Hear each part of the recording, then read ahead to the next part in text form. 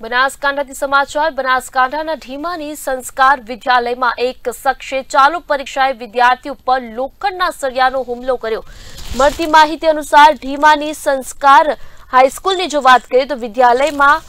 અભ્યાસ કરતા બે વિદ્યાર્થીઓ વચ્ચે પંદર દિવસ પહેલા સામાન્ય બોલાચાલી થઈ હતી તેની અદાવત રાખી રાજપૂત કર્ષને તેના પુત્રનું ઉપરાણું લઈ આવી યોગેશભાઈ અમિયારામભાઈને ચાલુ ક્લાસમાં ઘૂસી જઈ ઈજાઓ પહોંચાડી બે છાત્ર વચ્ચે અગાઉ થયેલી સામાન્ય બોલાચાલીની અદાવત રાખી થયેલા હુમલાની ઘટનામાં વાવ પોલીસ મથકે ફરિયાદ નોંધતા પોલીસે વધુ કાર્યવાહી હાથ ધરી છે